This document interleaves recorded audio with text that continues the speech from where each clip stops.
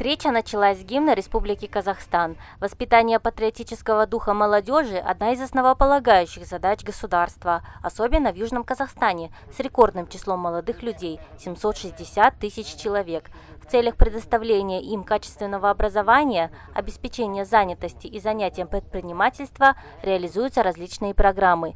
Примеру, по проекту с дипломом в село в этом году трудоустроились 590 молодых специалистов и еще 252 обеспечены жильем. По словам руководителя управления по вопросам молодежной политики Булата Жанабила, отбор квалифицированных специалистов в стране осуществляется по принципу меритократии.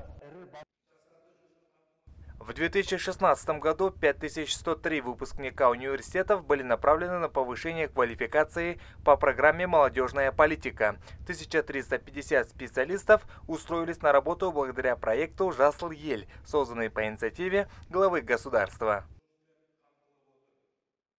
К сожалению, наряду с успехами есть и много проблем, которые требуют своего решения. Это и рост преступности среди молодежи, и нехватка учебных грантов для талантливых ребят, и недостаток общежитий при вузах. Сейчас в области всего 23 общежития, где может разместиться не более 6 тысяч студентов.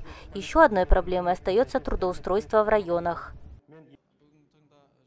Район у нас большой, людей много. Проблема возникает с трудоустройством, потому что заводов крупных нет.